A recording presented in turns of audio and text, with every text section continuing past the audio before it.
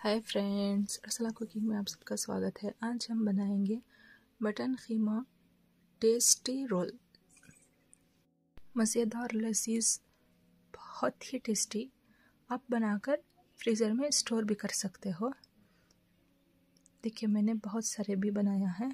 चलिए बनाते हैं। सबसे पहले मैंने आधा किलो खीमा ले लिया है। खीमा को धो लिया है। दो आलू काट लिया है और थोड़े से मटर अब उसको एक कुकर में मटर, आलू खीमा थोड़ा नमक और थोड़ा पानी डालकर उसको दो सीटी ले लेंगे। देखिए, दो सीटी ले लिया, अच्छी तरह से खीमा गल गया है। अब हम चार प्याज और थोड़ा सा मेथी पत्ता काट लिया है। कढ़ाई में ऑयल डालेंगे, उसके बाद मेथी पत्ता तल लेंगे। इससे क्या है ना, खुशबू बहुत बढ़िया आती है। इसलिए पहले मेथी पत्ता, उसके बाद अदरक लहसुन का पेस्ट डाल लेंगे।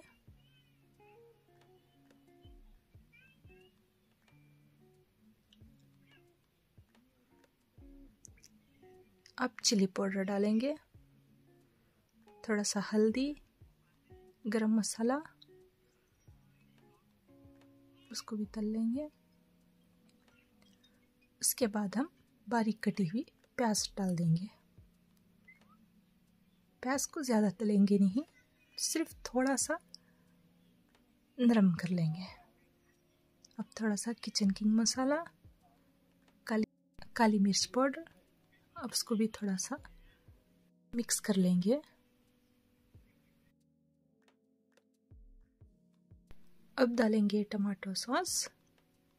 क्योंकि हमने टमाटो नहीं डाला, इसलिए सॉस का यूज़ कर रहे हैं। अब थोड़ा सा विनीगर, अब उसको भी अच्छी तरह से मिक्स कर लेंगे। अब डालेंगे खीमा आलू मटर जो गलाया था, उसको डाल देंगे। देखिए, अच्छी तरह से गल गया है।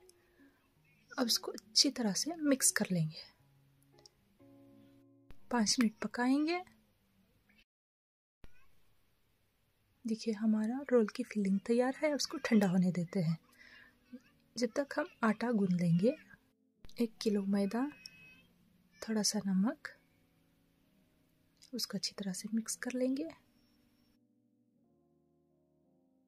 थोड़ा थोड़ा पानी डालकर उसको अच्छी तरह से थोड़ा सा घट गूंद लेंगे।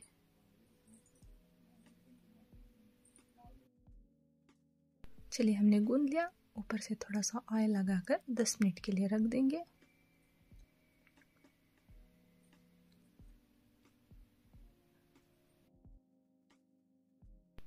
दस मिनट हो चुके हैं। देखिए, मैंने इस तरह के छोटे छोटे लोई बना ली है। अब हम छोटे छोटे पूरी की तरह बेल लेंगे। देखिए, मैंने इतने इतने से छोटे छोटे बेल लिया है।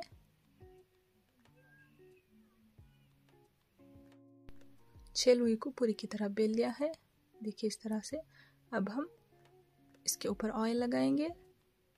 उसके ऊपर थोड़ा सा आटा डालेंगे। उसके ऊपर फिर से ये इस तरह से डालेंगे, इस तरह से ऑयल लगाएँगे, ऊपर से आटा छिंगेंगे इसी तरह से रोटियों को इसी तरह कर लेंगे। देखिए, मैंने इस तरह से कर लिया।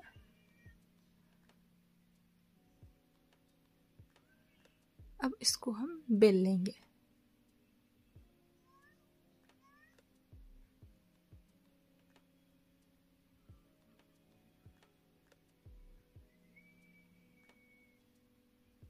थोड़ा सा आटा डालेंगे।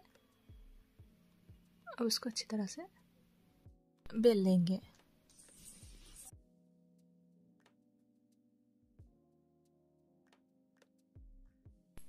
देखिए, हमने इस तरह से बेल लिया। छह रोटी भी सही तरह से बेली जाए, इस तरह से बेलिएगा। देखिए, हमने इस तरह से बेल लिया।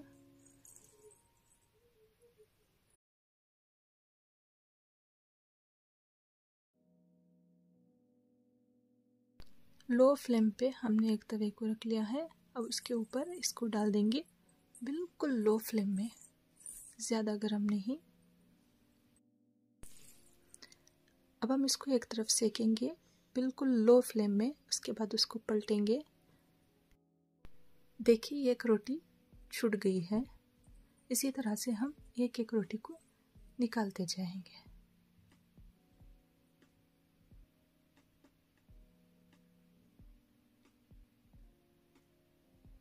देखिए, निकल गई उसको निकाल लेंगे।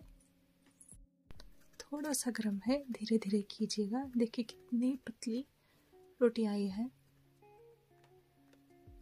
इसी तरह से हम एक एक एक एक करके निकाल लेंगे। देखिए कितनी आसानी से निकल रहे हैं।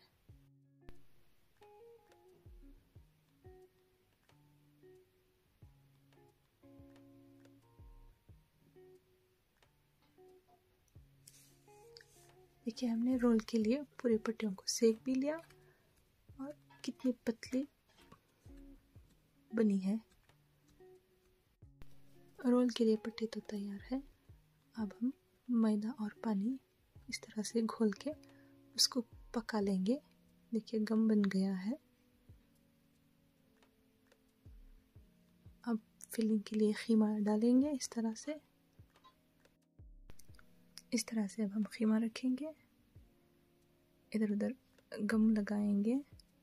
इस तरह से फोल्ड कर लेंगे रोल को। देखिए, बिल्कुल आसान। अब हम पूरे रोल को इसी तरह से बना लेंगे।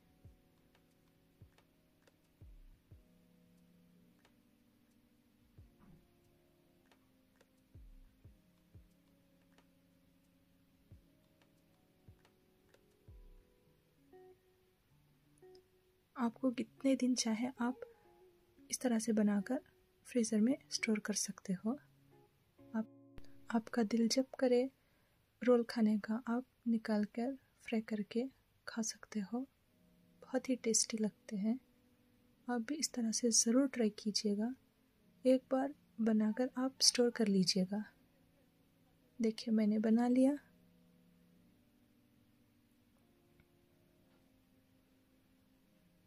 इतने सारे बना लिया है मैंने। चलिए अब हम इसको फ्राई करते हैं। आयल को गर्म कर लिया है। हम सिर्फ़ दो फ्राई करेंगे, बाकी के हम स्टोर कर लेंगे।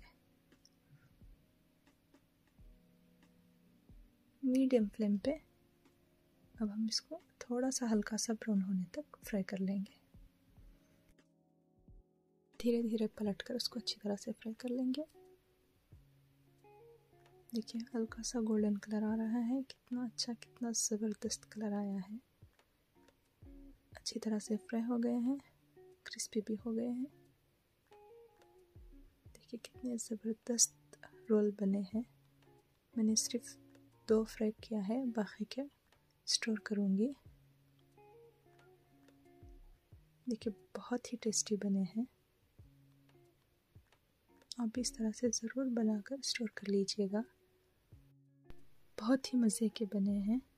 अगर मेरे रेसिपीज़ आपको अच्छे लगे और पसंद आए तो लाइक शेयर और सब्सक्राइब कीजिएगा और कमेंट्स भी ज़रूर कीजिएगा। देखिए, हमारे tasty tasty mutton keema roll तैयार है। जो सारी के कवर होते हैं, उसमें मैंने इस तरह से रखकर स्टोर कर लिया है। अब उसको हम फ्रीज़र में रख देंगे। आपका जब दिल चाहे, आप काट कर फ्राई करके खा सकते हो मेरे वीडियोस को देखने के लिए थैंक यू फिर से मिलेंगे नई रेसिपी के साथ. जब तक आप मटन खीमा रोल बनाकर स्टोर कर लीजिएगा. Thank you